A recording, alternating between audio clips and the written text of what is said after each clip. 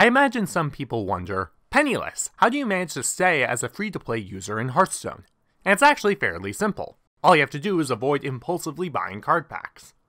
As you can see here, I have a large amount of gold because I'm saving up for the next expansion. But every once in a while I'll buy myself a pack just to sate the itch.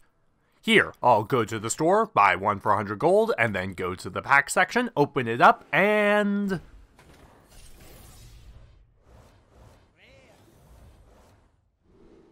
Okay, that wasn't very lucky. Oh well, we'll just go back to the store, buy another one for 100 gold, go back to the back section, open it up, and...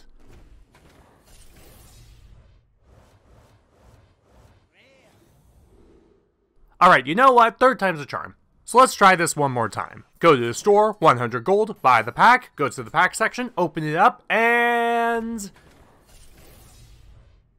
Yes! That's more like it. No need to keep opening these things, I am satisfied. And maybe just one more. Greetings and welcome to Hearthstone Theory. Today I'll be taking the topics covered on this show in a new direction, and focus on something different than the gameplay of Hearthstone. Instead, we'll be concentrating on an aspect of the game separate from the card combinations and deck construction, but still one very important to discuss. Card packs and their value.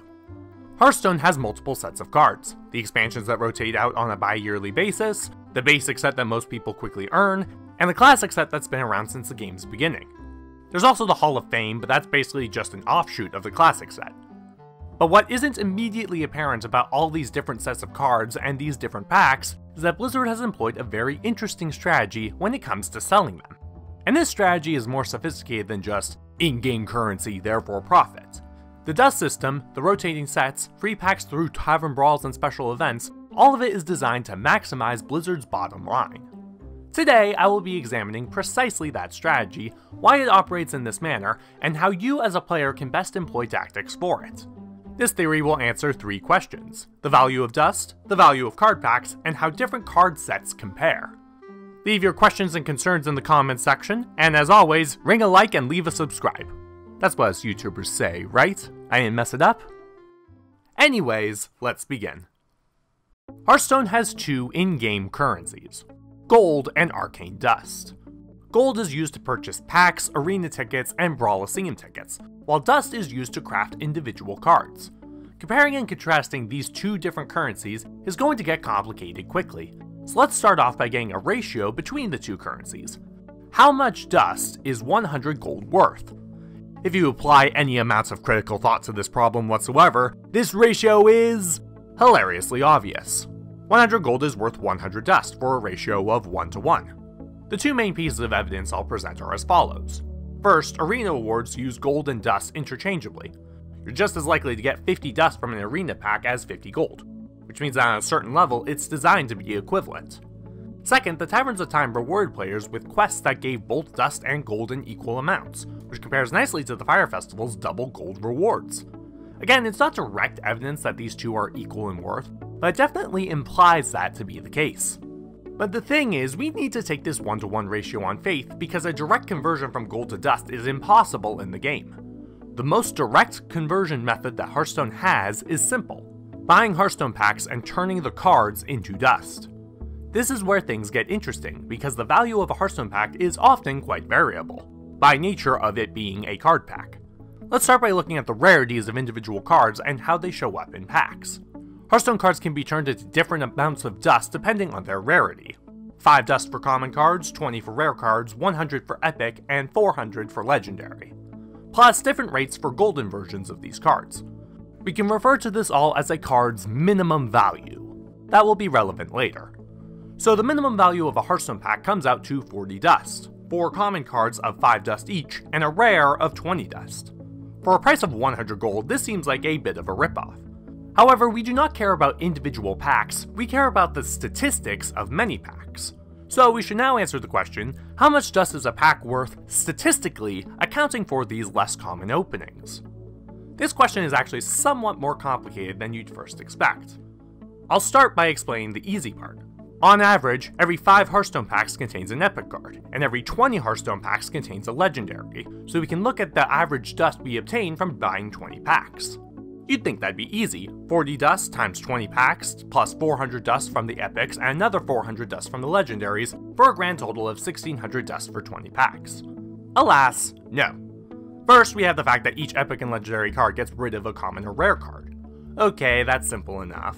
But then we have packs that end up giving you an extra rare card, which makes for a net profit of another 15 dust minimum. Okay.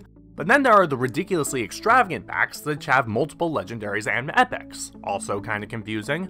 Then pity timers make it such that you're guaranteed a legendary every 40 packs and an epic every 10, which prevents the lowest statistical options and therefore ups the average. Clearly this is starting to be a headache.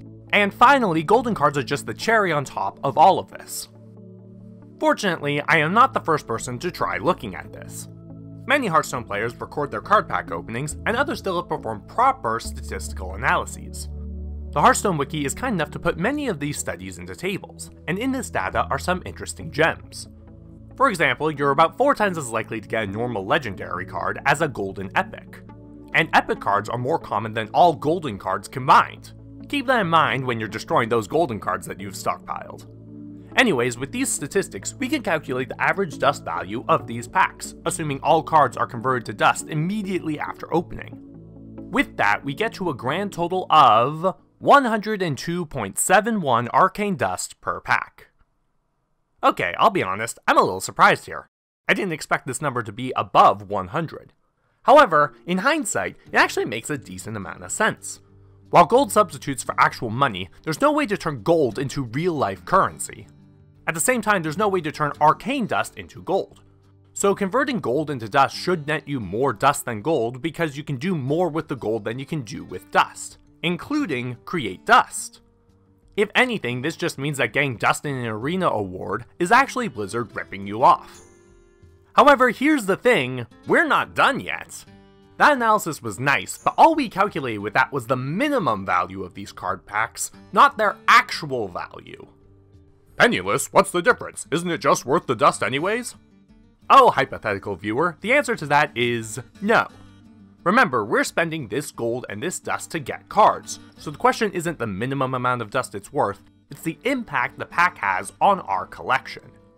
Let's consider a player that hasn't gotten any Boomsday cards and decides to buy some Boomsday backs. Every card they open is one that they wouldn't have in their collection. A card like Giggling Inventor isn't going to get turned into 20 dust, it'll be saved to prevent you from spending 100 dust on it. So the first two openings of that card are, in actuality, worth 100 dust. This doesn't hold true for all cards. A card like Astral Rift will likely never be worth playing in Constructed, for example. Although it is worth considering that new players have to just make do with what cards they can find, but I digress. Point being, if you open a card that you don't own and you'd be willing to use it, that is a remarkable economic benefit. Once again, this makes perfect sense. Blizzard is incentivized to get players to buy packs as they come out new, since it keeps the game flowing. Making it such that the first several packs you get are worth more in terms of dust starts the flow of this economy, encouraging players to buy at least a few packs. It's also inclusive to getting new players to join, and makes for more incentive to partake in newer expansions. Sound logic all around. But now we get to the crux of this pack buying analysis which packs should be bought. And it's at this point where Blizzard puts aside its tactical generosity and instead concentrates on getting the most out of its resources. For you see, all sets are equal, but no two sets are alike. First and foremost, each of these sets has its base value decreased by one important factor, how long it's in the standard set. Being able to use cards in the standard set naturally makes them more useful. More use, more useful is in the grammar. So while the Un'Goro and Witchwood sets have a full two years in circulation, the Boomsday, Frozen Throne, and Kobold sets have less time. The Kobold and Catacombs set in particular only has a year and a few months. Same goes for the next set coming later this year. A short-sighted player may assume that means the Witchwood set is a good investment, since it'll last longer. However, it's not that simple. Blizzard is well aware of the shelf life of its different sets, and have taken adjustments accordingly. Have you noticed that the Mean Streets and Kobold sets, both sets that happened towards the end of the year, were the sets that had the most powerful cards? Patches, Raza, Jade Golems, Kingsbane, Carnivorous Cube? This isn't an oversight by Blizzard, this is intended design. Because these packs are in circulation for a smaller amount of time, having them on the same power level as the other packs doesn't make sense. So to keep each set viable economically, Blizzard makes the later sets stronger. It's subtle, naturally, but these later sets will oftentimes have more valuable pieces than the sets before them. Sure, each set has some powerful cards and some garbage cards, but the ratio of what's strong versus what's weak goes up as the year progresses. The average Un'Goro card is weaker than the average Kobolds card, and more importantly for us, the average Witchwood card will be weaker than the average card from the upcoming set later this year. Hearthstone Mathematics, a channel I adore and would love to work with in the future, has already done a statistical analysis of the different sets' relevance, at least for the Boomsday meta. Link in the description. But their findings line up with my claims. The Witchwood and Un'Goro sets comprise 8% and 9% of the meta respectively, while Kobolds and Catacombs is closer to 20% popularity. Likewise, the sets that came out in the middle of their respective years are in the middle when it comes to power level. This trend explains some of the gripes that players have when the new Hearthstone year begins, like when Old Gods, Karazhan, and Mean Streets rotated out, while Witchwood rotated in. With the exception of odd and even decks, much of the top tier in the early Witchwood meta resembled what came before, with Cubelock and Spiteful Druid being the prime examples. Sure, these decks were later nerfed, but regardless. The later sets are the ones that are most likely to have stronger cards, thus increasing the value of purchasing them. So altogether, the balance of saving gold and buying different card packs is pretty well kept. Weaker card sets last for longer, while stronger ones last less long. With this in mind, you may wonder what the best tactics are for a consumer like yourself. To aid with that smart spending, here is the Penniless Player's Guide to Buying Hearthstone Packs. First and foremost, when in doubt, buy Classic Packs. The Classic set is the largest set in the game, and also has had many of its cards remain in the meta as time goes on. Couple that with it receiving the most card nerfs, and the fact that it will always be in Standard, and this set is clearly a cut above the rest. Unless you are lacking in cards from a particular expansion, the Classic set should always be your default purchase. Second, buy most of your packs right at the start of the expansion. The very start of an expansion is when the card packs have the most value, since no nerfs have taken place on the cards yet. Therefore, maximizing your spending at this time reaps you the greatest results. Additionally, this maximizes the time you have with your new cards, which makes the purchase even more fiscally sound. Third, buy 50 to 100 packs each expansion. Since as we mentioned, all expansions are roughly equal in terms of value, there's no need to treat them differently when it comes to spending. You may get stronger cards with kobolds, but you also get less time to use them. So buy about the same number of packs per expansion, at minimum around 50 and at most around 100. It's at about the 50 pack point where you'll have a significant majority of the common and rares of a set, as well as a handful of epics and legendaries.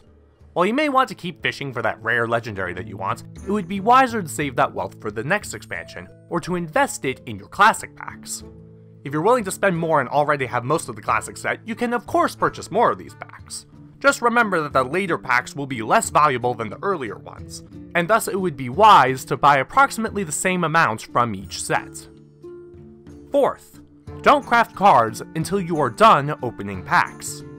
Once a card is in your collection, the value you get from opening a new copy diminishes. And once a strong legendary is in your collection, since you can't open duplicate legendaries, the odds that your packs will give you a weak legendary increase. To minimize the odds of this happening, buy the packs that you want and then stop. Buy your Witchwood packs, craft Baku again, then start saving for Boomsday. Finally, don't make dust unless you're crafting another card right then. It's better to have an excess of cards, even golden cards, than it is to have a stockpile of dust. The card's dust value will never decrease while it is in its card form, but it may increase if it gets nerfed. This is thanks to that rule that you get full disenchant value when a card is nerfed. So don't disenchant cards even if you think they're useless, unless you're about to spend that dust somewhere else. The only time you should consider pushing the disenchant extra cards button is if it gives you the exact amount of dust you need, and even then you may want to consider dusting different cards manually. While you can save gold for future card packs, cards have the same spending power as dust, so have a stockpile of cards rather than a stockpile of their leftovers. I want to commend Blizzard for this setup of card packs. When it comes to filling your collection, packs have their pros and cons, but most seem to offer equivalent benefits. While the minutiae of maximizing the value of these packs can be somewhat complicated, the resulting strategy makes for a healthy game. Buy enough packs from each set, then save up for the next one. This approach is definitely what I consider constructive to a game that I want to last for a long time.